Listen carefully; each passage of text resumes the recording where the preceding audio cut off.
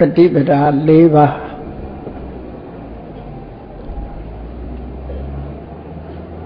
ယောဂလူတွေ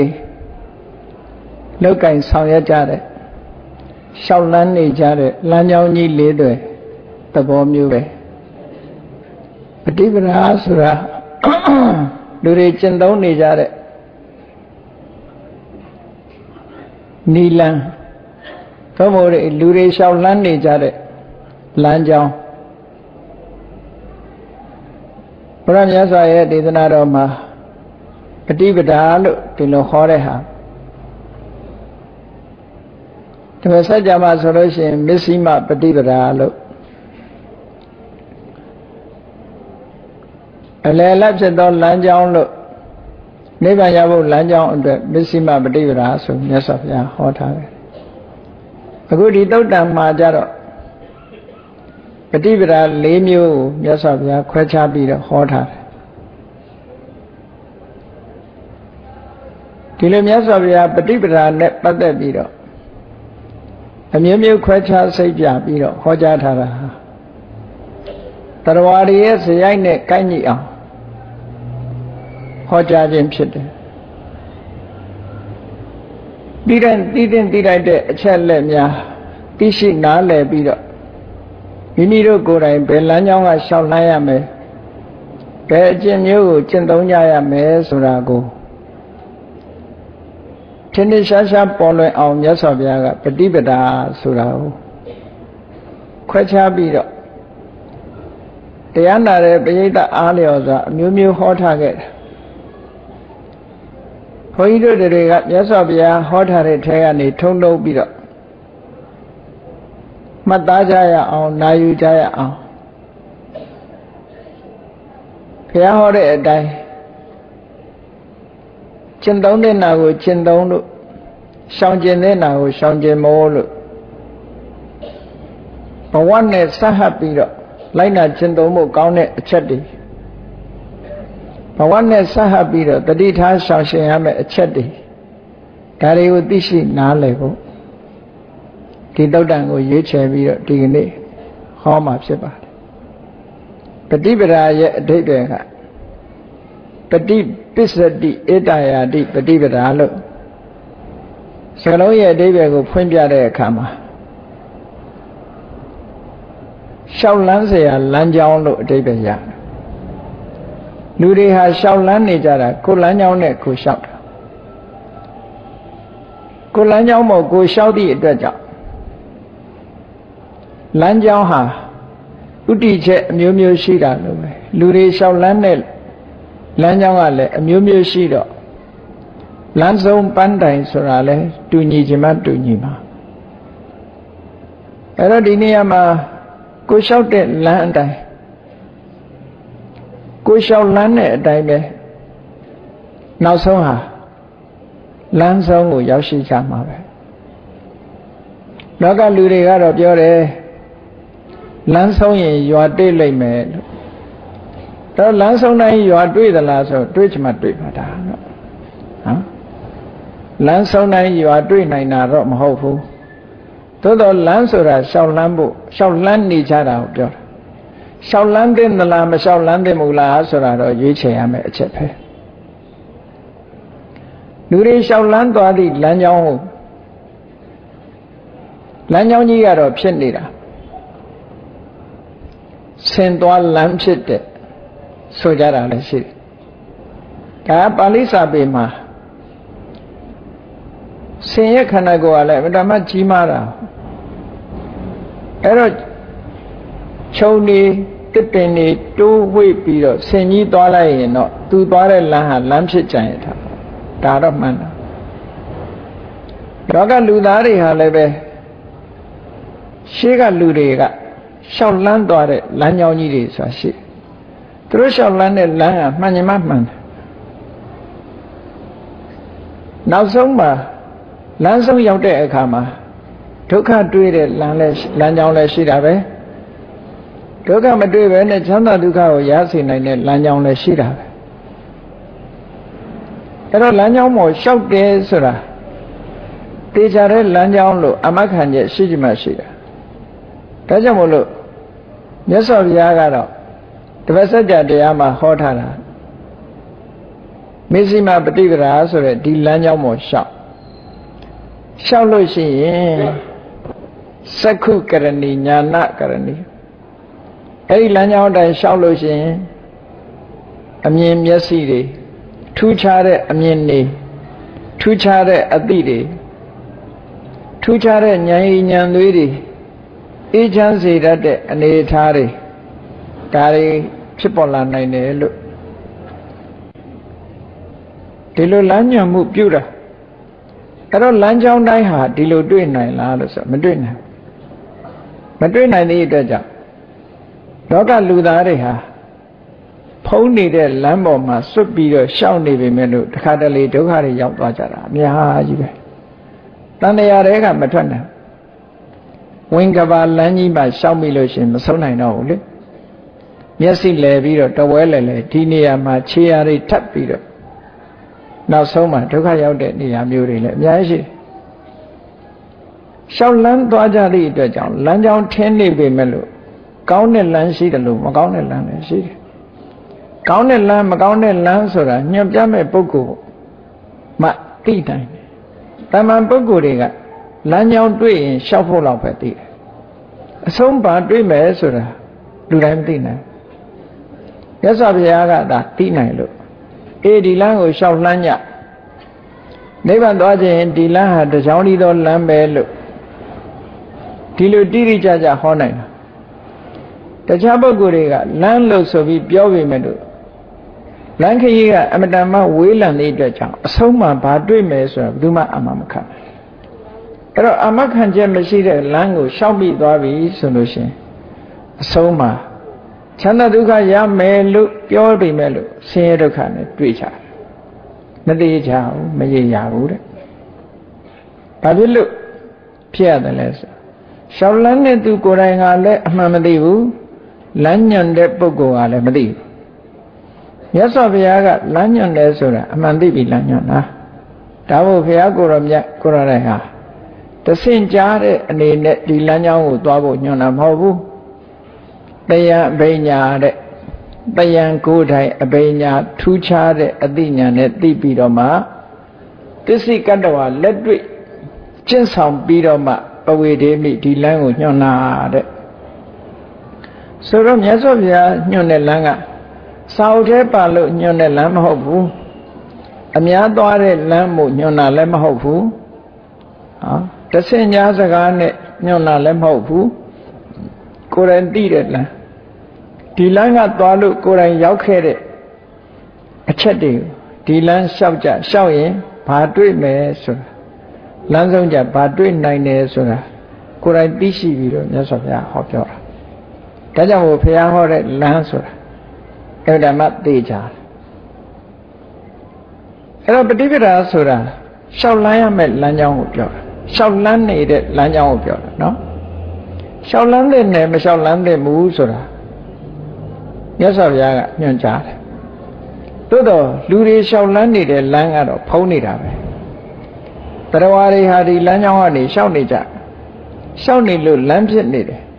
ဖြစ်နေတဲ့လမ်းပေါ်ကရှောက်တဲ့အခါမှာအမှန်ကန်ကိုမသိသည့်အတွက်ကြောင့်လမ်းဆုံးမှာဒုက္ခတွေနဲ့ကြုံတွေ့ကြရတယ်လို့တို့ဆိုတာ အဲ့တော့ဒီပฏิပဒါ၄ပါးဆိုတာဘာကိုပြောတာလဲမြတ်စွာဘုရားဒီသုတ်တံပฏิပဒါ၄မျိုးခွဲခြားပြီးတော့ဟောတာရှောက်လန်းတဲ့လမ်းရှောက်လန်းနေကြတဲ့လမ်း၄မျိုးထဲမှာအကောင်းနဲ့အဆိုးတွဲဖက်နေတယ်မြတ်စွာဘုရားဒီလမ်းကြောင်းတွေကိုလမ်းကြောင်းလို့သာထုတ်ဖို့ပြောထားတာဒီလမ်းလျှောက်ရင်ဘာဖြစ်မယ်ဆိုတာကိုတော့ဒီတုတ်တံမှာဟောမထားဘူး ဟောမထားပြီမဲ့လို့ထို့ထို့တုတ်တံတွေကနေကြည့်လိုက်မယ်ဆိုလို့ရှိရင်မြတ်စွာဘုရားရဲ့ဆိုလိုရင်းအာဘောဟာအမတမထင်ရှားပါတယ်ကောင်းပြီလမ်းကြောင်း၄တွေပฏิပဒါ၄ပါးဆိုတာဘာလဲလောကလူသားလူတော်တော်များများဒီကနေ့ကမ္ဘာခေတ်လူဦးရေအနေနဲ့ပြောပါဆိုရင်တန်ပေါင်း6000ကျော်9000 ရှိတဲ့လူသားတွေအများစုလျှောက်လန်းလို့ဖုံးနေတဲ့လမ်းဘယ်လမ်းလဲလို့ဆိုနံပါတ်1ကအခမပฏิပဒါမဟုတ်မခံလမ်းပြောမယ်ဆိုရင်အခမဆိုမခံနိုင်ဘူးဆိုတဲ့လမ်းဒီမခံဘူးဆိုတဲ့လမ်းကြောင်းတစ်ခုရှိတယ်လူတွေကပြောကြတယ်လေမင်းခမ်းမနေနဲ့ပြန်လို့ ငငယ်လဲမိဘတွေကအဲ့လိုပဲတင်တာပဲကလေးတွေနော်ဒီကောင်မင်းငုံခံမနေနဲ့ပြန်ချဟောငယ်ငယ်တော့လည်းဘုန်းကြီးတို့အဲ့ဒါကိုယ့်ရဲ့ကြီးတဲ့ចောင်းသားတွေကအခန်းနဲ့ချချမြောက်ပေးတာပဲလေအခုတော့တနိုင်ငံနဲ့တနိုင်ငံလည်းမြောက်ပေးတာပဲတယောက်နဲ့တယောက်လည်းမြောက်ပေးနေတာဘာလို့မခံနဲ့ဒုသလုံးဆိုတဲ့အဲ့ဒီလမ်းကြောင်းကအခမပฏิပဒါလို့ခေါ်တယ်ပြီးမခံတဲ့လမ်းကြောင်းတဲ့ အဲ့တော့သိမခံမှုဆိုတာဟာသုတ်တန်တစ်ခုမှာမြတ်စွာဘုရားခွဲပြီးတော့ဟောထားတဲ့ဒီလမ်းကြောင်းနဲ့ပတ်သက်ပြီးတော့လောကလူသားတွေဟာသိမခံနိုင်တဲ့လမ်းကြောင်းသိမခံဘူးဆိုတဲ့လမ်းကြောင်းမဟုတ်မခံဘူးဆိုတဲ့လမ်းကြောင်းအောင်ဤပြီးတော့သိခံနေမယ်မထင်နဲ့ဆိုတဲ့လမ်းကြောင်းအဲ့ဒီလမ်းကြောင်းဟာလူတော်တော်များများရှောက်လန်းနေလို့ဖုံးနေတာတဲ့နော် ကဲဘယ်လိုလုံးဆိုတော့ဘုရားကရှင်းပြီးတော့ဟောတယ်အခမပฏิပဒါမခံတဲ့မခံရဘူးဆိုတဲ့တိမခံတဲ့ဆိုတဲ့လမ်းကြောင်းကဘယ်လမ်းကြောင်းတော့ဆိုတော့လောကလူသားတွေဟာကဲရင်ပြန်ဆဲမယ်ကိုရိုက်ရင်ပြန်ရိုက်မယ်ဒီလမ်းနော်ဒါလူတိုင်းလူတိုင်းဒီတိုင်းကျင့်ရှိတာပဲတရိစ္ဆာန်နေလည်းအတူတူပဲကိုယ်ကြိုက်ပြန်ကြိုက်မယ်နော် ကိုချပြန်ချမယ်တချို့ကကျိန်းတော်ကျိန်းသေးဒါဒါချင်းဒုတ်ဒုတ်ချင်းဆိုတာပြောသေးတာလေမခံနဲ့ဆိုတာအဲ့တော့လောကမှာမခံနဲ့လို့ဆိုတဲ့ဝါဒဒီလမ်းကြောင်းရှောက်လန်းတဲ့ပုဂ္ဂိုလ်တော်များဒါအရက်ထဲနေတဲ့လူတွေပိုသိတာပေါ့နော်ကဲအဲ့ဒီလမ်းကြောင်းအတိုင်းရှောက်လန်းလို့ရှိရင်ငြိမ်းချမ်းရေးရပါမလားရဘူးအရက်ထဲလည်းစူးစူးပူပူပဲဖြစ်နေပါ မခံနဲ့ဆိုတာကြပြဿနာတွေတက်နေတာပဲနော်ဒါကမခံနဲ့ဆိုတဲ့လမ်းကြောင်းอ่ะသွားကြတာနော်နောက်လမ်းကြောင်းတစ်ခုကခမပฏิပဒါအေးသီခံသီခံမလုံးနဲ့အာမပြောမနေနဲ့သူကသူအေးသွားမှာပြန်မလုံးနဲ့ပြန်လို့ပြဿနာတွေကြီးနေလိမ့်မယ် နားလဲသွားတဲ့အခါအလုံးငြိမ်းချမ်းသွားမှာဆိုတဲ့လမ်းကြောင်းရောမရှိဘူးလားဖြန့်ပြေးပေးတဲ့လမ်းကြောင်းအဲ့ဒါကိုမြတ်စွာဘုရားခမပฏิပဒါလို့ခေါ်တယ်တိခဏနဲ့ကိုပြန်ဆဲပြီမဆဲဘူးသူမိုက်လို့သူဆဲတာတချို့မိဘတွေကပြောတယ်ဟဲ့နင်းဆဲလို့ရှိရင်နင်းပဲ့ပါသွားတော့မှမဟုတ်တာဆဲသမားသည် तू မရှက်လို့ तू လုံးတာဟော ဒီအတွေးလေးတွေကခမာပฏิပဒါအတွက်မှာတန်ဖိုးရှိတဲ့အတွေးလို့ပြောတာနော်သူများနင်းဆဲလို့ကိုယ်ပဲ့ပါသွားတာမှမဟုတ်တာပြန်မဆဲနဲ့နော်ဒီလိုတိခတ်မိုးတွေတိုက်တွန်းတဲ့မိဘဒီလည်းရှိတာပဲအရာထဲမှာနော်မလုံးနဲ့ပြန်ပြီးရမဖြစ်နဲ့တိခံဟောခမပฏิပဒါဒါဖြင့်ဒီလမ်းကြောင်းနှစ်ခုကိုမြတ်စွာဘုရားကဘယ်လမ်းကြောင်းကိုရွေးခဲ့တာလဲ သူကိုယ်တိုင်ရောဘယ်လမ်းကြောင်းကလျှောက်တာလဲလို့မေးမြတ်စွာဘုရားသူဆဲလို့ပြန်ဆဲတယ်လို့တခါမှမရှိဘူးရံဖြစ်လို့ပြန်ရံဖြစ်တယ်လို့လည်းမရှိဘူးလာခဲ့ကွာဒုတ်ဒုတ်ချင်းဓာထားချင်းဆိုတာလည်းစိန်ခေါ်တာလည်းမရှိဘူးဘယ်တော့မှဘုရားကချဲလဲမလုပ်ဘူးဒါမျိုးနော်ဒီလေမြတ်စွာဘုရားကိုယ်တိုင်ကိုယ်ကပုံနာကြီးတယောက်ကမြတ်စွာဘုရားဆဲတယ် ဆဲတာမှပဲပဲနဲ့နဲ့ဆဲတာလူကြားတဲ့တောင်ဆဲမပြရဲပါဘူးသူဆဲတာနော်တကယ်ဆဲတာနော်ကိုယ်လာဆဲမနဲ့နေမလဲမြတ်စွာဘုရားကိုယ်တိုင်ဆဲတာဒီတိုင်းပဲနေဘာမှမပြောဘာမှမပြောလို့ရှိရင်ဆဲတဲ့ကောင်ကဆက်ဆဲလို့ရအောင်မလားဟိုဟာဆဲဒီဟာဆဲဟိုဟာဆဲဒီဟာဆဲမှသူကအရှိန်ကရတာဟုတ်တစ်ဖက်သက်ဆဲနေတဲ့အခါကျတော့ အရှိန်ကပြော့သွားမောတော့မောတော့ကျတ်သွားအဲ့ဒီအချိန်ရသော်ဗျာကိုဆဲတာဆဲလို့အားရလောက်ပြီဆိုတဲ့အချိန်ရသော်ဗျာဘာပြောတော့ဆိုမင်းငါတခုမေးမကွာမင်းတို့အိမ်ကိုဧည့်သည်တွေပဲမလာဘူးလားလာတယ်လေတဲ့လာရင်မင်းပုံပဲသေးစားတွေချမကျွေးဘူးလားကျွေးတယ် ကျွေးတဲ့အခါသူတို့မစားရင်အဲ့ဒီပုံပဲသေးစီဘယ်သူပိုင်တာလဲဆိုဟာကိုအိမ်ကပစ္စည်းကိုပဲပိုင်တာပေါ့အေးမင်းကငါ့ကိုအဆဲနဲ့အခန္ဓာငါမယူအဲ့ဒါတွေငါမယူမယူတော့မင်းဟာပဲဒါတွေကမင်းဟာငါနဲ့မဆိုင်ဘူးဆဲသမျှစကလုံးတွေမင်းမင်းဟာတွေငါနဲ့မဆိုင်ဘူးငါစီမရောက်ဘူးမြတ်စွာဘုရားက အပတိစကပဟေနကအပတိစပဟေနကလက်မခံတဲ့လက်ဆောင်လက်မခံတဲ့လက်ဆောင်လို့ဥပမာပေးပြီးတော့မြတ်စွာဘုရားဟောလိုက်တဲ့အခါမှာဟိုတစ်ဖက်သားဟာတွေးပြီးတော့စဉ်းစားသွားတယ်အေးဆဲတာတွေကငါဆဲတာသူစီမရောက်ဘူးငါကတော့သူစီရောက်အောင်ဆဲတာပဲသူကလက်မခံဘူးဆိုတော့ဆဲတာတွေငါစီပဲပြန်ရောက်ကုန်တယ်လို့ ဒီဆဲတဲ့ပြစ်မှုတွေကမင်းစီမှာပဲအကုန်လုံးဆိုတော့ဟိုလူကနည်းနည်းကြောက်သွားတယ်အဆိုးတွေသူစီလူဆိုတာအဆိုးတွေကိုကြီးပြုံရောက်မှကြောက်တယ်လေအဲ့တော့ကြောက်သွားတယ်ကြောက်သွားတဲ့အခါကျတော့မှဖះကိုဝန်ချတောင်းပန်တယ်သူဆဲတာပြန်ရုပ်သိမ်းတယ်ကဲတာမန်ပုဂ္ဂိုလ်ပြောနဲ့ဖះတော်ဆက်ခံရတယ်ဘယ်မှာပါတော့ရှင်ဘုရားဆိုအကောတကပါရဒွာစာ တာယုတ်ပါဠိတော်မှာရှိတယ်နော်လက်မခံတဲ့လက်ဆောင်နဲ့ရသော်ဗျာလာဆဲပြီဆိုရင်လက်မခံတဲ့လက်ဆောင်ပဲလက်မခံလိုက်နဲ့ဒါပြင်လက်ခံတယ်ဆိုတာဘယ်ဘယ်လိုတုံးဆိုလို့ရှိရင် तू ကဆဲရင်ပြန်ဆဲတယ်ဆိုတာဒါလက်ခံအတိမပြုတ်လိုက်တာမရောက်ဘူးလားကိုကသူသူကကိုယ်ဆဲတာကိုအတိမပြုတ်လို့ပြန်တုတ်ပြန်တာပေါ့တုတ်ပြန်တယ်ဆိုကြတဲ့ကအတိမပြုတ်တယ်ဆိုတဲ့အဓိပ္ပာယ်ရောက်တယ် အော်မြတ်စွာဘုရားမတုံ့ပြန်ဘူးမတုံ့ပြန်သည့်အတွက်ကြောင့်အတိမမပြုတ်အတိမမပြုတ်တော့သူ့ဟာသူပဲပြန်ယူသွားလို့ဒီလိုပြောတာမင်းဆဲတာတွေမင်းကမင်းပြန်ယူသွားငါနဲ့ဘာမှမဆိုင်ဘူးဟာဆဲတယ်ဆိုတဲ့လူတယောက်ဟာသူများကိုမစင်နဲ့ကောက်ပြီးတော့ပြစ်တဲ့ဟာနဲ့အလားတန်တူတယ်မစင်နဲ့ကောက်ပြစ်လို့ရှင်သူ့အရင်မပေဘူးလား ကိုကတိမ့်လိုက်လို့ရှင်ကိုမစင်ကမှန်ညမမှန်မှာသူကတော့ပေးနေပြီလေ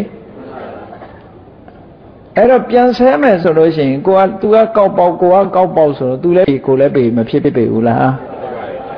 အေးဒါကြောင့်မလို့မြတ်စွာဘုရားကခမာပฏิပဒါဆိုတဲ့အကျင့်လက်ခံဒီလမ်းကြောင်းမရွေးတယ်ဖေ။အခမာပฏิပဒါဆဲမယ်ပြန်ဆဲမယ်ဆိုတာမလုပ်ဘူးပဲတော့မှကဲဘုန်းကြီးတို့တွေလည်း ဒီလမ်းကြောင်းနှစ်သွယ်တည်းမှာဘယ်လမ်းကိုလျှောက်ကြမလဲဆဲရင်ပြန်ဆဲမှလားသိခံမှလားသိခံမှဆိုတဲ့လမ်းကိုလျှောက်အောင်မယ်ဒါဗုဒ္ဓဘာသာရဲ့ကျင့်စဉ်တစ်ခုပဲလို့ဒီလိုမှတ်တယ်ဗုဒ္ဓဘာသာရဲ့ကျင့်စဉ်ဟာဒါအမှန်ကန်ဆုံးကျင့်စဉ်တစ်ခုပဲဒီသုဒ္ဓမာသာဒီလိုဟောတာမဟုတ်ဘူးမြတ်စွာဘုရားမင်္ဂလာတုတ်ထဲမှာလည်းပဲသီခန္ဓာကိုမင်္ဂလာတစ်ပါးလို့ဟောထားတာမဟုတ်လား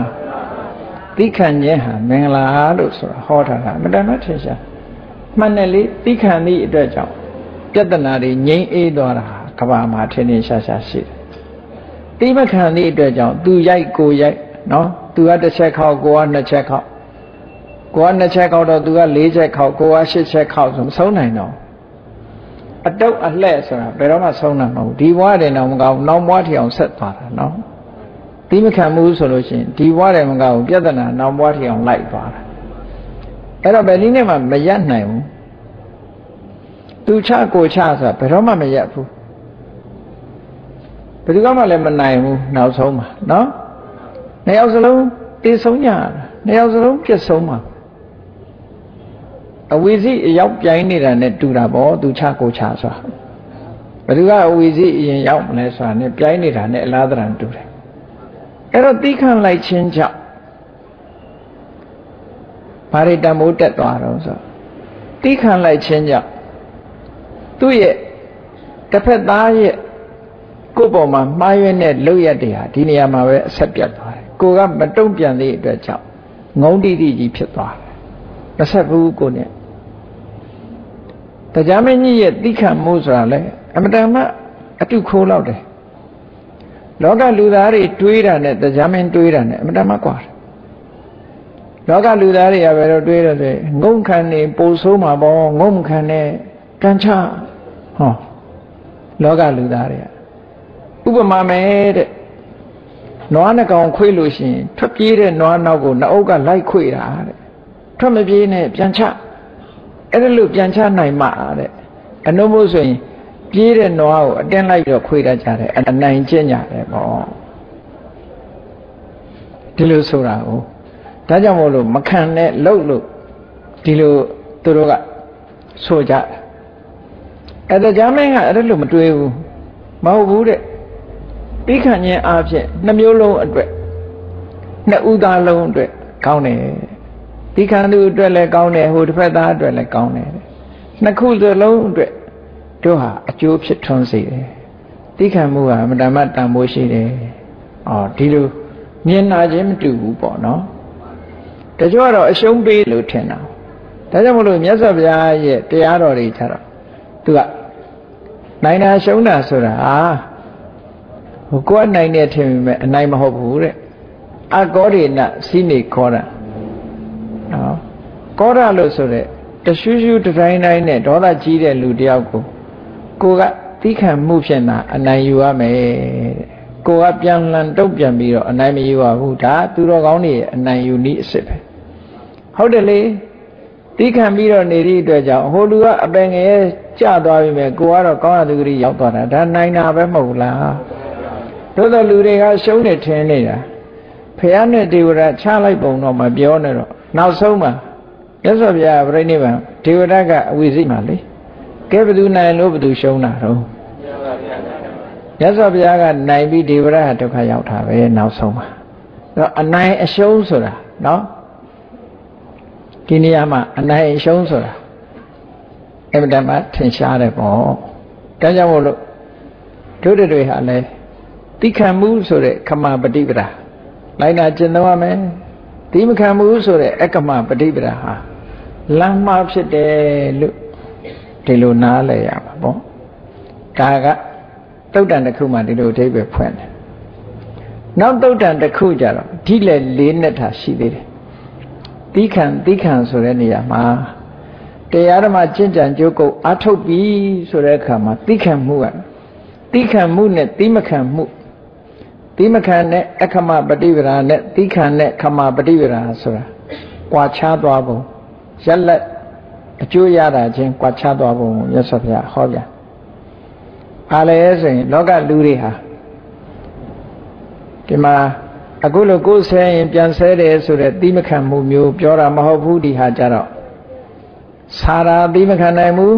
ဟောအေးတာလည်းတိမခံနိုင်ဘူးပူတာလည်းတိမခံနိုင်ဘူးချိန်ကြိုက်ရင်လည်းတိမခံနိုင်ဘူးကိုယ့်ကိုစကားဆုံးမစကားပြောရင်လည်းတိမခံနိုင်ဘူးကို့မှာ နာကျင်ကြိုက်ခဲတဲ့ယောဂဝေဒနာဖြစ်တဲ့ဥမာခေါင်းကြိုက်ရင်လည်းတိမခံနိုင်ဘူးသွားကြိုက်ရင်လည်းတိမခံနိုင်ဘူးတခုဖြစ်ရင်တိမခံနိုင်ဘူးဆိုတဲ့လူတွေကအများစုပဲဟုတ်ကဲ့လားအရင်တော့ငငယ်တော့တွေ့ဘူးတဲ့ခေါင်းကြိုက်လို့တဲ့ကိုယ်ခေါင်းကိုလက်သီးနဲ့ထိုးတဲ့လူလည်းတွေ့ဘူးတာပဲတက်တာပါမလားဒေါသတွေထွက်တာလေစိတ်ဆိုးပြီးတော့လှုပ်တာတိမခံမှုတွေကဒီလိုလာတာလေဆာတာလည်းတိမခံနိုင်ဘူး အေးရပူတာလည်းတိမခံနိုင်ဘူးချင်ကြိုက်တာလည်းတိမခံနိုင်ဘူးကိုယ်ကိုပြောဆိုဆုံးမတဲ့စကားတွေလည်းတိမခံနိုင်ဘူးအော်ယောဂဝေဒနာဖြစ်လာရင်လည်းတိမခံမှုဆိုတဲ့လူမျိုးတွေဟာကုသိုလ်အရာနည်းတဲ့ပုံကိုယ်တွေဖြစ်တယ်ဆိုပါစို့ဥပုသ်ဆောင်ထားတယ်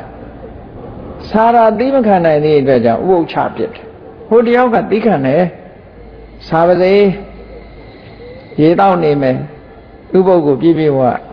ဆောက်တည်လိုက်တယ်စာရာကိုတယောက်ကသိခံတယ်တယောက်ကသိမခံကဲဒီဥပုပ်ကံရဲ့အကျိုးရတဲ့အခါကျတော့ဒီလူကဥပုပ်ချပလိုက်တယ်ဟိုလူကဥပုပ်ကိုယူထားတယ်သိခံလိုက်တယ်နောက်ဘဝရောက်တဲ့အခါကျတော့ဟိုလူကသူ့ရဲ့အထက်ရောက်သွားပြီသူကအောက်တန်းရောက်ကြကွာသွားပြီဘူးလားဘဝခရီးမှာရှောက်လန်းတဲ့အခါမှာအများကြီးကွာသွားတယ် ထက်အောက်ဖြစ်သွားနော်ထက်အောက်ဖြစ်သွားအဲ့ဒါမျိုးအဲ့တော့သီးမခံတဲ့အကျင့်မကောင်းဘူးသီးခံတဲ့အကျင့်ကောင်းတယ်ခန္ဓာကိုယ်ဖြစ်တဲ့ယောဂဝေဒနာဖြစ်လို့သိခံတယ်သိခံပြီးတော့ဥပုသ်ဆောင်တယ်သိခံပြီးတော့ကုသိုလ်လုပ်တယ်ဒီလိုလုပ်ပြီဆိုတဲ့အခါမှာကောင်းကျိုးချမ်းသာတွေရဆိုပါတော့တရားထိုင်တယ်ညောင်းတာညာတာသိမခံနိုင်တာနဲ့ ခဏခဏရွှေ့ဟိုတယောက်ကတော့ပေးတေပြီးတော့တရားထိုင်တယ်ထိုင်သည့်အတွက်ကြောင့်ဝေဒနာဒုက္ခဝေဒနာတွေကိုကြော်လွန်ပြီးတော့တမာရီတွေကောင်းသွားတယ်ဒီတယောက်ကတော့သိမခံနိုင်သည့်အတွက်ကြောင့်ကမ္မထာကြောင့်ကထွက်လာခဲ့တယ်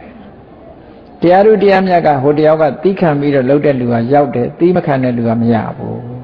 ကြွားမသွားဘူးလားကြွားသွားပါဗျာဒီလိုဆိုလို့တာဒါလည်းသိခံတာသိမခံတာကြွားသေးတယ် တရားဝဲလာတရားနာတယ်ညောင်းတယ်ထိုင်ရတာကြားတယ်ညောင်းတယ်သိမခံနိုင်ဘူးအာသိမခံနိုင်တော့တရားဝဲမလာဘူးဒီလိုပေါ့နော်အဲ့တော့သိခံပြီးတော့တရားဝဲလာတယ်အသိဉာဏ်တွေရသွားတယ်မလာဘူးဆိုတဲ့လူကမရပြန်ဘူး။ကွာခြားမှုတွေကဒီလိုကွာသွားတယ်ပေါ့။ဘယ်ကိစ္စပဲဖြစ်ဖြစ်သိခံပြီးတော့လှုပ်တဲ့ပုဂ္ဂိုလ်ကြီးပွားတိုးတက်တာပဲ။ မြတ်စွာဘုရားသုတ်တန်တစ်ခုမှာဟောထားတာတပိပိကုသလဓမ္မခန္တရာယတ္တဝဝဋ္ဌရေတဲ့ကုသတရားမှန်သမျှသိခံမှုနဲ့သိခံမှုဆိုတာဒီသိခံမှုကိုပြောတာခုနဆဲတာနဲ့မဆိုင်ဘူးတရားကနော်အောင်ဤသိခံနိုင်မှုနဲ့သာပတ်သက်တယ်တဲ့သိခံနိုင်တဲ့ပုဂ္ဂိုလ်ကမှတရားဥတရားမြတ်တို့ကုသိုလ်တို့ဆိုတာရနိုင်တယ်သိမခံနိုင်ကုသိုလ်ရဖို့ခက်တယ်ဟောကုသိုလ်သိခံမှကုသိုလ်ရတယ်ဆို အဲ့တော့သိခံတယ်ဆိုတဲ့လမ်းကြောင်းဟာသူတော်ကောင်းတွေသာလျှောက်တယ်လူမိုက်တွေကမလျှောက်ဘူးအဲ့ဒီလမ်းကိုလူမိုက်တွေလျှောက်တာကသိမခံမှုဆိုတဲ့လမ်းကိုလျှောက်တယ်ပညာရှိသူတော်ကောင်းတွေကသိခံရမယ်ဆိုတဲ့လမ်းကိုလျှောက်တယ်အဲ့ဒါကြောင့်မို့လို့ပညာရှိနဲ့လူမိုက်အမြဲတမ်းကြွာချားတယ်သူတော်ကောင်းနဲ့သူရုံးမှာလည်းအမြဲတမ်းကြွာချားတယ်လက်လန်းကြွာနေကြ သူတို့ရဲ့အဆင့်တန်းဟာအမြဲတမ်းကြွာချားသွားတယ်အည်တွေးခြင်းကလည်းအမြဲတမ်းကြွာချားသွားတယ်ဒီလိုဆိုလို့တာနော်အဲ့တော့ဒီအကျင့်နှမျိုးဟာခမာပฏิပဒါအခမာပฏิပဒါခမာပฏิပဒါတုတ်တန်နှစ်ခုပေါင်းစပ်လိုက်တဲ့အခါကျတော့ဆဲတာကိုပြန်ဆဲမယ်အခမပฏิပဒါတိမခံတဲ့အကျင့်တုံ့ပြန်ဆဲမယ်ရိုက်ရင်တုံ့ပြန်ရိုက်တယ်အခမပฏิပဒါ ဆာလောင်မိုးသိမှုတို့ယာတိဥရုတို့ပြောဆိုဆုံးမတဲ့စကားတို့ယောဂဝေဒနာတို့ကိုမခံနိုင်ဘူးအခမပฏิပဒါဟိုတစ်ဘက်ကအေးကိုယ်ကိုဆဲလာရင်လည်းမတုံ့ပြန်ဘူးသိခံတယ်ဆာလောင်မုသိမှုလည်းသိခံတယ်အေးပူကိုလည်းသိခံတယ်မတုံ့ပြန်ဘူးယောဂဝေဒနာဖြစ်ရင်လည်းသိခံတယ်ဆိုတဲ့လူကလူမိုက်လမ်းနဲ့ လူမိုက်တွေရှောက်လို့ဖုံးနေတဲ့လမ်းနဲ့ပညာရှိတွေသွားတဲ့လမ်းလို့ဟောရီဟာပฏิပဒါဒီနှမျိုးကဒီလိုသွားတယ်အဲ့တော့ဘုန်းကြီးတို့တွေရွေးရမယ့်လမ်းကခမာပฏิပဒါဆိုတဲ့သိခံတဲ့လမ်းကြောင်းကိုရွေးပါဒါမှလူတော်လူကောင်းဖြစ်မယ်သူတော်ကောင်းဖြစ်မယ်အနုမို့ဆိုလို့ရှိရင်အများစုတည်းမှာအခမာပฏิပဒါလမ်းကြောင်းနဲ့ရောက်သွားလို့ရှိရင်မခံနိုင်သည့်အတွက်ကြောင့်တန်လျာမှာဒုက္ခတွေအများကြီးဖြစ်ကုန်ပါပဲเนาะ မခံနိုင်လို့တန်လျာမှာဒုက္ခတွေနဲ့ကြုံတွေ့သွားပါဒီလိုဆုံးလို့တာเนาะဟောနောက်တစ်ခုကြည့်လိုက်မယ်ဆိုလို့ရှိရင်ဓမ္မာပฏิပဒါတဲ့ဓမ္မာပฏิပဒါဆိုတာဆုံးမတဲ့လမ်းကိုယ့်ကိုယ်ကိုပြုပြင်ဆုံးမပေးတဲ့လမ်းအဲ့ဒီလမ်းကြောင်းကလိုလမ်းကြောင်းလဲလို့ဆိုဓမ္မာပฏิပဒါ အသိဉာဏ်နဲ့ဆုံးမသွန်သင်ပြီးတော့ပေးတဲ့လမ်းဟာဘယ်လိုလမ်းကြောင်းလဲလို့ဆိုလောကလူတွေသူတော်ကောင်းဖြစ်ဖို့သို့မဟုတ်တရားဓုတရားမြတ်ရဖို့ကိုချင်းသီလတွေပြေဝဖို့ဆိုတဲ့အခါမှာအရေးကြီးဆုံးကဘာလို့อ่ะအရေးကြီးဆုံးလုပ်ရမယ့်ကိစ္စတစ်ခုอ่ะကိုကိုကိုဆုံးမဖို့อ่ะအရေးကြီးဆုံးပဲ ကဲဆုံးမတယ်ဆိုတာဘယ်လိုကိစ္စတွေဆုံးမရမှာလဲလူတွေမှာမရင်မကြေးဖြစ်နေတာဘယ်ကိစ္စတွေလဲသို့မဟုတ်လူလူတွေရဲ့တဏ္ဍာမှာအကုသိုလ်တွေဖြစ်နေတယ်ဘယ်ကိစ္စတွေကဖြစ်နေတာလဲဘယ်လမ်းကြောင်းကနေအကုသိုလ်တွေဝင်နေသလဲဒါကိုအရင်ကြည့်ဆုံးမပေးရမှာဘယ်ဟာကိုဆုံးမပေးရမှာလဲလို့ကြည်လောဘဖြစ်တယ်ဒေါသဖြစ်တယ်မောဟဖြစ်တယ်အကုသိုလ်တွေဖြစ်တယ်မကောင်းတဲ့အတွေးတွေတွေးတယ် ဆိုတဲ့ဘယ်ကလာတာလဲလို့ကြည့်လိုက်မယ်ဆိုရင်လူတွေကမျက်စိပါတယ်လေပါတဲ့အတွက်ကြောင့်ရှိတယ်ရှိတဲ့အခါမှာလူချင်းစရာအာယုံလည်းမြင်တာပဲမလူချင်းစရာအာယုံလည်းမြင်တယ်စာလို့ပြောရင်အိဋ္ဌာယုံမြင်တယ်အနိဋ္ဌာယုံမြင်တယ်အိဋ္ဌဆိုတာလူချင်းစရာအာယုံကိုပြောတာအနိဋ္ဌဆိုတာမုန်းစရာအာယုံကိုပြောတာ ကဲမျက်စိနှလုံးဖွင့်လိုက်တာနဲ့အဲ့ဒီအမြင်နှမျိုးဖြစ်မလာဘူးလားဖြစ်လာတဲ့အခါမှာကိုကိုကိုမဆုံးမဘူးမထိမ့်သိမ့်ဘူးဆိုရင်မြင်စေနှစ်သက်စရာအာယုံသဘောကျစရာအာယုံမြင်လိုက်တာနဲ့လောဘဆိုတဲ့အကုသိုလ်ဝင်လာမနှစ်သက်စရာအာယုံဆိုတာတွေးလိုက်တာနဲ့ဒေါသဆိုတာဝင်လာပြန်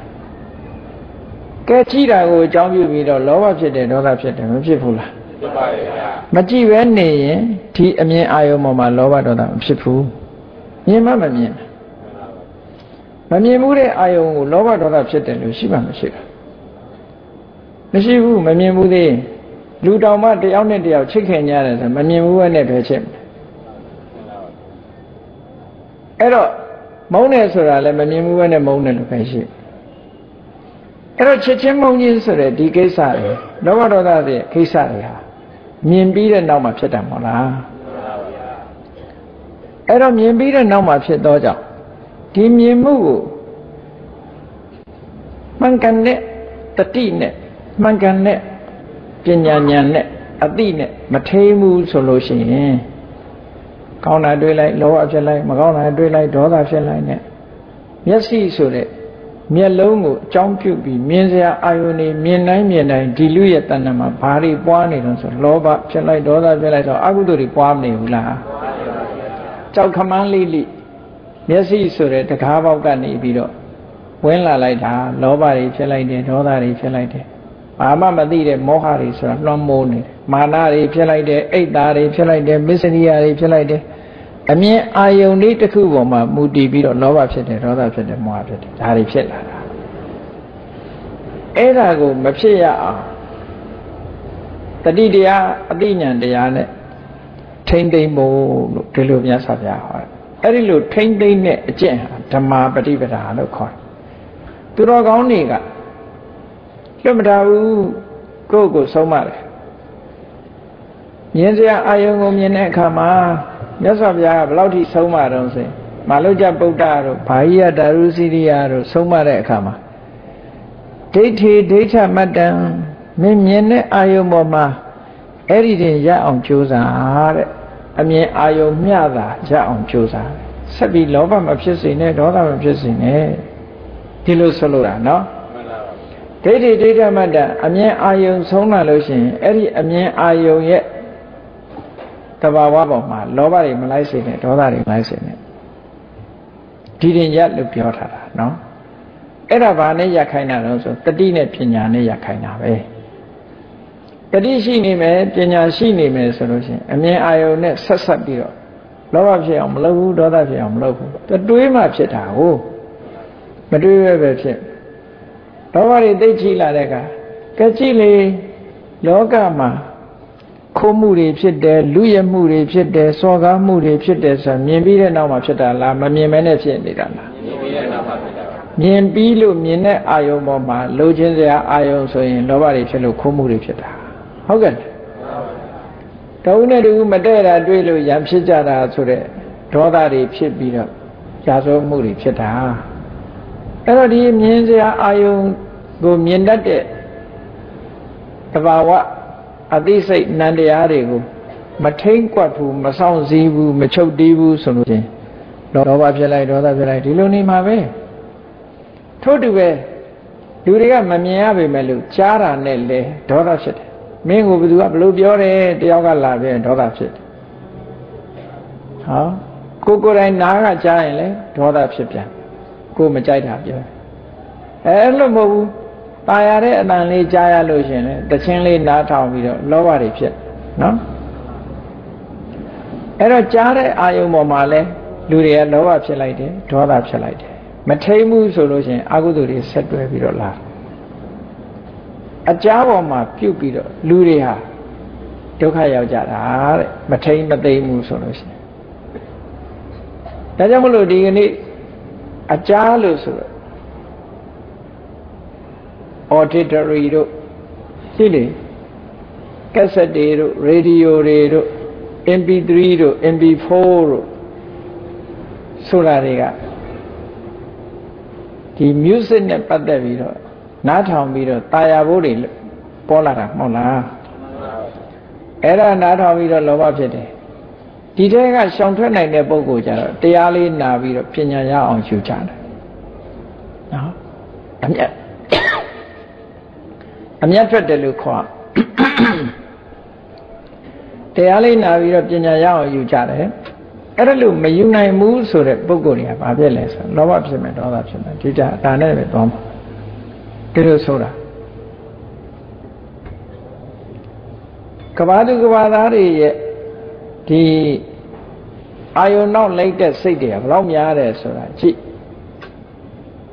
music ဆိုတာလေဘယ်တော့မှရက်တယ်မရှိဘူး ထွင်ပြီးရင်ထွင်နေကြတန်ဆုံတီးလုံးဘယ်တော့ဖြစ်ဘယ်တော့မှရိုးသွားတယ်လို့မရှိဘူးထွင်ပြီးရင်ထွင်ပေါ်ပြီးရင်ပေါ်တချင်းစမ်းနေပေါ်လိုက်ဟုတ်ကဲ့လားဘာပေါ်ပေါ်နားထောင်ဖို့ကအစနဲ့မယ်စကားပြောသလိုဆိုတဲ့တချင်းလဲနားထောင်မှာပဲနော်ဘယ်လိုတချင်းမျိုးပဲဖြစ်ဖြစ်ခုံပေါက်နေအောင်ဆိုတဲ့တချင်းမျိုးဆိုလဲခုံပေါက်ချင်စိတ်ပေါက်ဆိုလိုတာက ပမကြီးတုတ်လဲနားထောင်ကောင်းတာပဲနှဲကလေးဒီဒီမှုတ်လဲနားထောင်တာမှာပဲဘယ်ဟာပဲဖြစ်ဖြစ်လူတွေဟာအတန်တစ်ခုပေါ်မှာပါရမှုဆိုတာဖြစ်တာပဲလေအဲ့ဒါလို့ဖြစ်လာတဲ့သဘောတွေကိုကိုယ့်ကိုယ်ကိုယ်စိတ်ကိုထိမ့်ပြီးတော့လောဘမဖြစ်အောင်ဒေါသမဖြစ်အောင်မစင်ញနိုင်ဘူးတတိနဲ့အသိမရှိဘူးဆိုလို့ရှိရင်လောဘဒေါသလာမှာပဲလို့ဒီလိုပြောတာနော် နှာခေါင်းနဲ့ပတ်သက်ပြီးတော့ကြည့်အနံ့ရေမွေးဆိုတာအနံ့မျိုးစုံဆပ်ပြဆိုလဲအနံ့မျိုးစုံဒီအနံ့ကဘယ်တိအောင်သွားတော့ဆိုအစာအာဟာရတဲ့တောင်ပါတယ်ဖလေပါတဲ့နော်ဖလေပါဆိုပြီးတော့စားတဲ့အစားအစာလေးတောင်မှအနံ့ကလေးတွေအမျိုးစုံလောက်ထား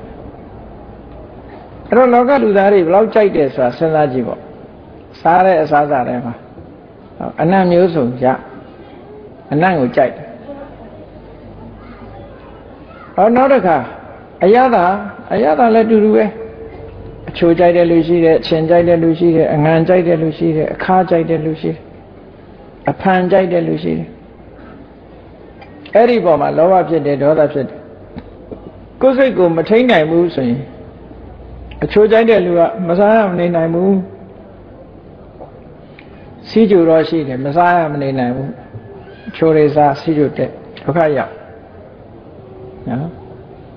ထွင်တဲ့လူကလည်းထွင်ပေးပါရဲ့စီးကြိုသမားစားဖို့ဆို equal ဆိုတရားထွင်ပေးတယ်အဲ့တော့ဒီအချိုလေးမှမခံရရင်မနေနိုင်ဘူးလို့ဆိုတဲ့အကျင့်နေ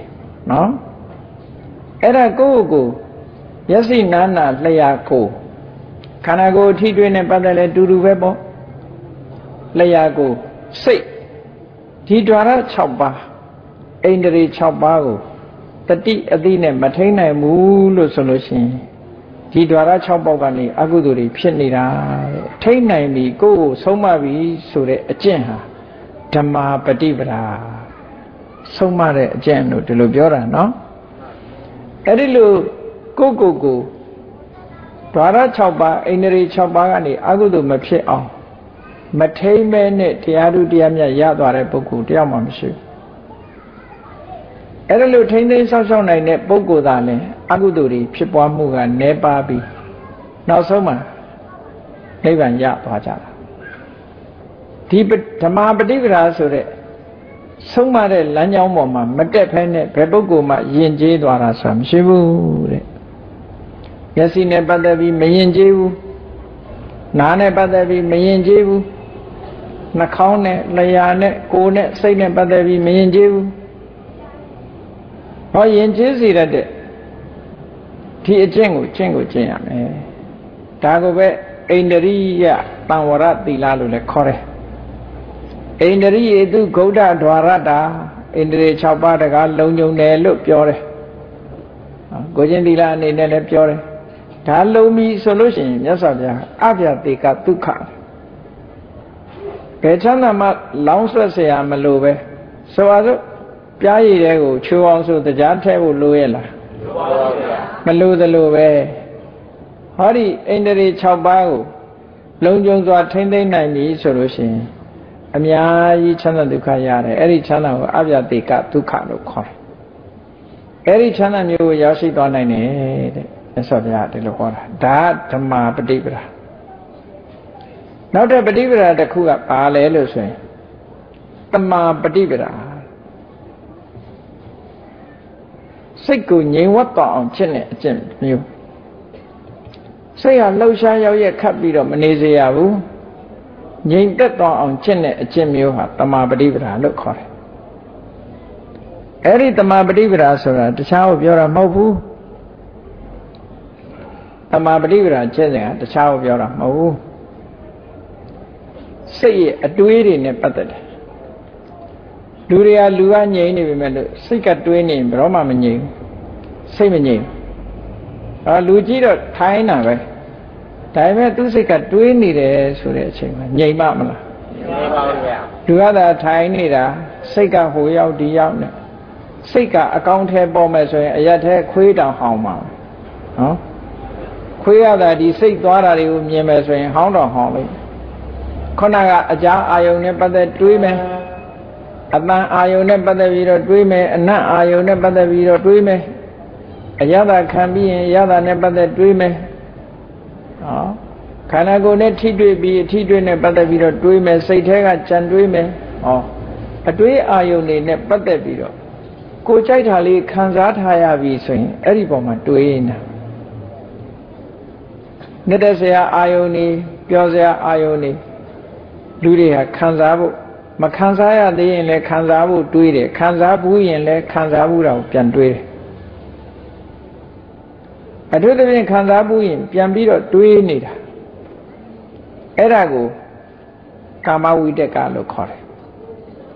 အဲ့ဒီအတွေးဟာတွေးတဲ့တိုင်ရရင်ရမရရင်စိတ်ကိုပူလောင်စေတာပဲသူကကာမဝိတက်လို့ခေါ်တယ်လက်သက်ဆရာအာယုန်နေတွေးပြီးတော့ လူဟာစိတ်မငြိမ်မသက်တည်ဖြစ်လာ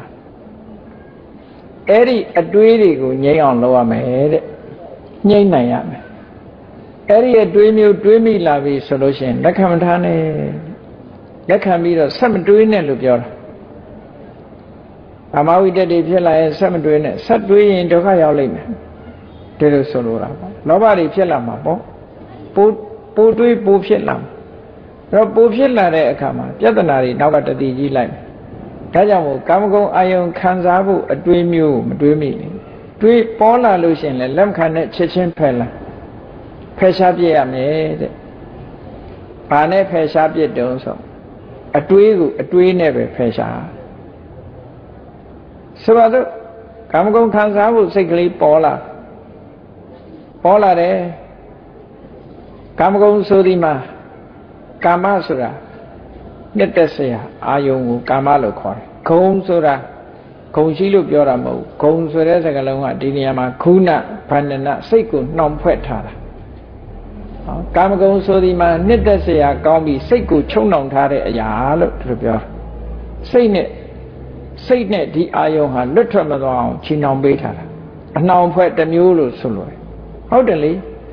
မြင်ပြီးတော့လိုချင်တဲ့အာယုံတစ်ခုကစိတ်ထဲကထွက်မှမထွက်ပဲ ခဏခဏစိတ်ကူးမိနေတာပဲเนาะသဘောကျဒါချီနှောင်ထားတဲ့သဘောဖြစ်သွားတာအဲ့ဒါကြောင့်မလို့ကာမဂုဏ်လို့ခေါ်တာအဲ့ဒီကာမဂုဏ်အာယုန်တွေနဲ့ပတ်သက်ပြီးတော့ကာမဝိတ္တတွေတွေးမိပြီဆိုလို့ရှိရင်ပြောင်းပြီးတော့တွေးရမယ်အဲ့ဒီတွေးကိုဖယ်ရှားပြရဘာနဲ့ဖယ်ရှားမလဲဆိုဖယ်ရှားပုံဖယ်ရှားနည်းတွေကအမျိုးမျိုးရှိတယ် အမျိုးမျိုးရှိတယ်အမျိုးမျိုးရှိတဲ့တည်းမဲ့ကိုနှလုံးသွင်းနေချတရားနဲ့လည်းဖယ်ရှားလို့ရတယ်သို့မဟုတ်အာနာပါနချင်းစဉ်တစ်ခုနဲ့ထက်လေဝင်လေကိုပြောင်းပြီးတော့မှတ်ခြင်းအပြင်လည်းအဲ့ဒီအတွေးဟာပြောင်းတယ်သို့မဟုတ်ဒီကာမဂုဏ်အာယုန်ရဲ့အပြစ်ကိုဆင်ញင်စဉ်းစားခြင်းဖြင့်လေဒီအတွေးဟာပျောက်သွားနိုင်တယ်အတွေးကိုအတွေးတစ်ခုနဲ့ဖယ်ရှားပြရ စူးစူးလို့ရှိရင်စူးနဲ့ပဲပြန်ထွက်နော်အနဲ့ထွင်တာလဲစူးလို့ချွန်တဲ့ဟာနဲ့ပြန်ထွင်တာပဲလေကိုယ်တဏ္ဍာမှာစူးစူးစူးနဲ့ပဲဗမာစကားရှိတယ်မို့လားငချင်းစီနဲ့ငချင်းကြော်ဆိုသူကလည်းသူပြန်လောက်ပြစ်တယ်ဖယ်ရှားပြစ်နိုင်ရမယ်အဲ့ဒါလို့ဖယ်ရှားပြစ်မှဆက်မတွေးတော့ဘူးဆိုပြီးဆက်မတွေးတော့ဆိုရင်အာဟုသူတွေနဲသွားနောက်တော့ဖြစ်เสียရည်မရှိတော့ ဒါကလောဘနဲ့တွေးတဲ့အတွေးမှန်သမျှအောင်ဒီနည်းနဲ့ဖယ်ရှားပြရလူဆိုတာပျော်စရာကြီးပဲတွေးတာမဟုတ်ဘူးတခါတခါမုန်းစရာနဲ့လည်းတွေးတတ်သေးတယ်စိတ်ဆိုးနေပြီဆိုရင်မုန်းတဲ့အတွေ့တွေးတာပဲမဟုတ်လားအဲ့ဒါကြတော့ဖြာပါရဝိတက်လို့ခေါ်တယ်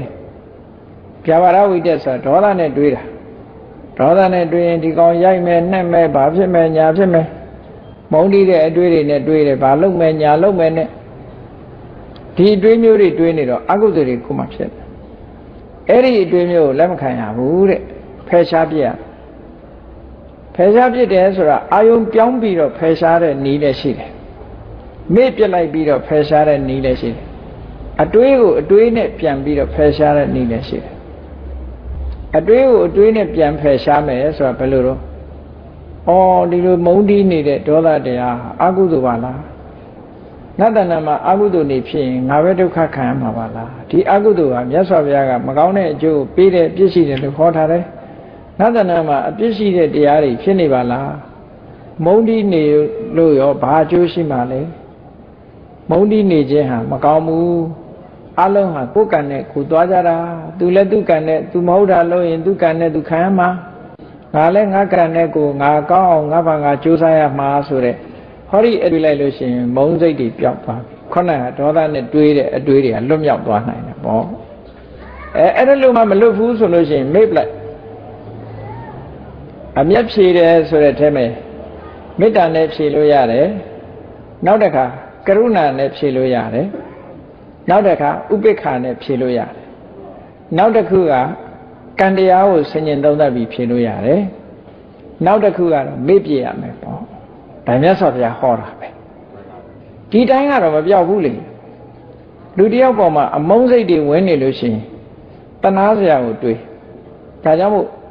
ကောင်းကွက်ကိုရှာမေတ္တာကိုပွားတယ်မေတ္တာပွားပြီဆိုရင်အဆိုးမကြည့်နဲ့အကောင်းပဲရှာကြည့်လူဆိုတာအဆိုးကြီးမဟုတ်ဘူးအကောင်းလည်းရှိတယ်ကောင်းတဲ့ကွက်ကလေးကိုကြည့်လူတွေကအဆိုးကြည့်ရင်ဒေါသထွက်မှာပဲဒါ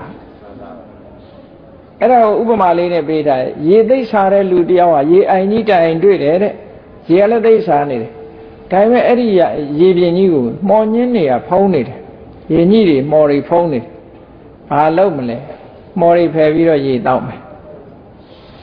အဲ့ဒါလိုပဲတဲ့လူတယောက်ဟာအကောင်ရောဆိုးရောရောနေပြီဆိုလို့ရှိရင်အဆိုးဖယ်လိုက်ကိုလိုချင်တဲ့အကောင်လေးပဲ꿰ယူအဲ့ဒါလေးကိုနှလုံးသွင်းတဲ့ဒါကိုပြောတာ မေတ္တာပွားခြင်းလို့ရှိရင်အဆိုးဖယ်ကောင်းကွက်ကလေးကိုယူပြီးမေတ္တာပွားတဲ့ပွားလို့ရတယ်နော်အဲမေတ္တာထားနိုင်အောင်ကြိုးစားလို့ရှိရင်လည်းခုနကဒေါသအတွေးဟာပျောက်သွားနိုင်အဲ့ဒါမှမပျောက်ဘူးဆိုရင်ဘာလို့อ่ะကရုဏာအတွေးတွေးပေးရအေးဒီလူတဲ့ဒုက္ခရောက်မှာပဲသူကဆိုးတာအဲ့တော့ဒီနေ့ကျတော့သူကံနဲ့သူဒုက္ခရောက်မှာပဲဆိုတဲ့တဏှာတဲ့အနေနဲ့ပြန်တွေး လူဆိုတာတဏှာကနေတဏှာတယ်ဆိုတာကြတော့အထက်စီးလူဆိုတာဘယ်တော့ဖြစ်အထက်စီးကြိုက်တယ်အောက်ကနေမဝင်ញင်မှုထက်ကပဲဝင်ញင်တာနော်လူရဲ့သဘာဝကွာလေအာဒီကောင်တဏှာစရာကောင်းပါတယ်ဆိုရင်လောလကူနဲ့တဏှာတယ်သူဟာအဲ့ဒါကြောင့်မို့လို့ကရုဏာနဲ့ပြန်ပြီးတော့ဖြောက်လို့လေဒေါသဟာဖြစ်ပြောင်းနိုင်တယ်နောက်တစ်ခါကျတော့ဥပိ္ပခာတလူရှုလိုက်တယ်သူလောက်ခဲ့တဲ့အလုပ်တွေမစင်စားဘူး ကိုယ့်ပေါ်မှာစော်ကားမော်ကားလုပ်ခဲ့တာတွေပြန်မစင်စားတော့ဘူးလစ်လျရှုထားလိုက်တယ်ဟောနောက်တစ်ခုကျတော့ကံကံရဲ့အကျိုးဆင်ញင်သုံးတတ်တယ်သူလည်းသူကံနဲ့ငါလည်းငါကံနဲ့ဘသူဖြစ်ဖြစ်ကိုယ်ကံနဲ့ကိုယ်သွားကြမှာမုန်းနေလဲအလကားပဲနော်ချစ်နေလဲအလကားပဲဟောတွေးလိုက်တယ်ကံကိုဆင်ញင်လိုက်တာနဲ့ခုနကအတွေးကလွတ်ထွက်သွားအဲ့လိုမှမဟုတ်လို့ရှိရင်စင်းကိုမစင်စားနဲ့တော့မေ့ထားလိုက်တော့တခြားအာယုံတစ်ခုနဲ့ပဲနေလိုက်တော့အဲ့ဒါဆိုရင်လေ ဒီဒေါသအတွေးဟာလွတ်သွားနိုင်တယ်လို့ဒီလိုပြောတာနော်ဒါလက်တွေ့ရှင်းသုံးရမယ်နီးမြတ်စွာဘုရားကဲတော့မုန်းတီးတဲ့အတွေးဗျာပါဒဝိတက်ကြီးကိုလက်ခံပြီးတော့မထားနဲ့တွန်းလှန်ပစ်အဲ့ဒီလိုတွန်းလှန်ပစ်တာစိတ်ကိုငြိမ့်အောင်လှုပ်တာဖြစ်သောကြောင့်တမာပฏิပဒါလို့ခေါ်တယ်တမာပฏิပဒါငြိမ့်အောင်ကျင့်တဲ့အကျင့်ပဲသူကသူတော့ငြိမ့်မှာမဟုတ်ဘူးလေမိရလောင်းနေရင်သူကသူတော့ငြိမ့်မှာမဟုတ်ဘူး ငြိမ့်အောင်လုပ်ရမယ်ဟောနောက်တစ်ခုကလူတွေဟာတွေးတဲ့အခါမှာတစ်ဖက်သားကိုဒေါသဖြစ်လာလို့ရှိရင်ရိုက်ချင်နှက်ချင်လာတယ်ပျက်စီးစေခြင်းလာတယ်ညှင်းဆဲခြင်းလာတယ်ဆိုအတွေးတွေဝင်လာတယ်အဲ့ဒါကိုဝိဟိန္ဒဝိတက်လို့ခေါ်တယ်အဲ့ဒီဝိတက်ဖြစ်လာလို့ရှိရင်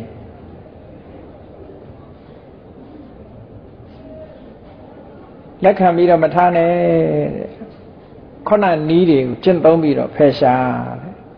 အဲ့တော့ဗျာပါဒဝိတက်ပဲဖြစ်ဖြစ်ဝိဟိန္ဒဝိတက်ပဲဖြစ်ဖြစ်ဒေါသနဲ့ပတ်သက်တဲ့အတွေးတွေပဲကာမဝိတက်ကလောဘနဲ့ပတ်သက်တဲ့အတွေးတွေအဲ့တော့အတွေးဆိုဒီမှာလောဘနဲ့ပတ်သက်တယ်ဒေါသနဲ့ပတ်သက်တယ်မေတ္တာတရားမိမိတဏ္ဍာမှာခိုင်ခိုင်မာမာတိဆောက်ထားခြင်းဖြင့်ဒီအတွေးတွေကိုဖယ်ရှားနိုင်ဖို့ကြိုးစားတဲ့အကျင့်ဟာ တမာပฏิပဒါငြိမ်ဝတ်သွားစေတဲ့အတွေးတွေကိုငြိမ်သွားအောင်လုပ်နိုင်တဲ့အကျင့်တစ်မျိုးဖြစ်ပါတယ်တဲ့ဒီအကျင့်ဟာသူတော်ကောင်းတွေအကျင့်နဲ့အကျင့်ပဲဓမ္မာပฏิပဒါကိုယ့်ကိုယ်ဆုံးမတဲ့အကျင့်ဟောဣန္ဒြေ6ပါးရှင်ကျေးသွားအောင်ဆုံးမတဲ့အကျင့်တမာပฏิပဒါကိုယ်စိတ်ထဲမှာအတွေးတွေဆိုးဝါးတဲ့အတွေးတွေနှိမ့်သက်သွားအောင်လုပ်နိုင်နိုင်တဲ့အကျင့်ဒီအကျင့်တွေဟာသူတော်ကောင်းတွေကျင့်တဲ့သူတော်ကောင်းတွေရှောက်လန်းတဲ့လမ်းကြောင်းဖြစ်တယ်ဒါကြောင့်မို့ ဒီပฏิပဒါတုတ်မှာမြတ်စွာဘုရားကပฏิပဒါ၄ပါးခွဲခြားပြီးတော့ဟောတာဟာနံပါတ်1အခမပฏิပဒါနံပါတ်2ခမာပฏิပဒါနံပါတ်3ဓမ္မာပฏิပဒါဓာတွေနဲ့မနဲ့ဓမ္မာပฏิပဒါဆုံးပါတယ်ဆိုတဲ့အဓိပ္ပာယ်နော်နံပါတ်4တမာပฏิပဒါပေါင်းလိုက်တဲ့အခါကျတော့တိမခံတဲ့အကျင့်တိခံတဲ့အကျင့် ဆုံးမတဲ့အကျင့်နော်ရှင်ကျေးအောင်ဆုံးမတဲ့အကျင့်နဲ့ငြိမ်းချမ်းအောင်ပြုလုပ်တဲ့အကျင့်တို့ဒီပฏิပဒါ၄ရပိုင်းခြားမှတ်သားပြီးတဲ့အခါမှာတို့တွေခမာပฏิပဒါကိုကျင့်သုံးကြရမယ်ဒီတဲ့အစစ်မြင့်တဲ့တရားတွေရဖို့ရအတွက်ဓမ္မာပฏิပဒါတမ္မာပฏิပဒါတို့ကျင့်သုံးကြရမှာဖြစ်တယ်ထို့သောကျင့်သုံးနိုင်အောင်မဂ္ဂင်၈ပါးအကျင့်တရားမျက်စိမပฏิပဒါလမ်းကြောင်းကနေရှောက်လန်းပြီးတော့ နောက်ဆုံးမှာငြိမ်းချမ်းတဲ့နိဗ္ဗာန်ကိုတို့တွေရောက်အောင်ရှင်းကြကြုတ်ကိုအထောက်ကြရမှာဖြစ်တယ်မရောက်သေးသမျှထာဝရငြိမ်းချမ်းမှုကိုမရနိုင်သေးဘူးဆုံးမသွန်သင်နေကြရအောင်မှာဖြစ်တယ်နောက်ဆုံးမှာမဂ္ဂင်၈ပါးကျင့်တရားကျင့်လို့နိဗ္ဗာန်ကိုစိုက်ထိပြီးဆိုတဲ့အခါကျရင်ဆုံးမမှုကိစ္စငြိမ်းအောင်လုပ်တဲ့ကိစ္စတွေလုံးဝပြီးသွားပြီသိခံမှုအတိုင်းအတာတစ်ခုလည်းပဲပြီးဆုံးသွားပြီလို့ဒီပฏิပဒါ၄ရမြ တ်စွာဘုရားဟောတာကိုမှတ်သားပြီးတော့သူတော်ကောင်းတွေရဲ့လမ်းကြောင်းဖြစ်တဲ့ခမာပฏิပဒါဓမ္မာပฏิပဒါတမာပฏิပဒါဆိုတဲ့လမ်းကြောင်းကိုလိုက်နာကျင့်သုံးခြင်းဖြင့်ရှောက်လန်းနိုင်ကြပါစေကုန်သတည်း